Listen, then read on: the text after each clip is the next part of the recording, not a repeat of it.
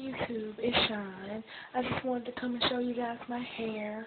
Um, on the 22nd, it was nine months. Um, I started in March, and this is my hair so far. Um, I only use like the basic YouTube products or whatever.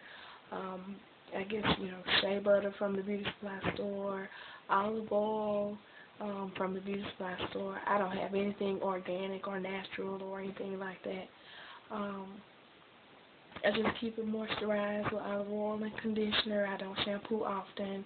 Um, actually, I gotta wash it tonight. That's why I took my braids out. But anyway, I just wanted to come and show you guys my progress. And this is at nine months. And I hope everybody's doing good and had a wonderful um, Christmas.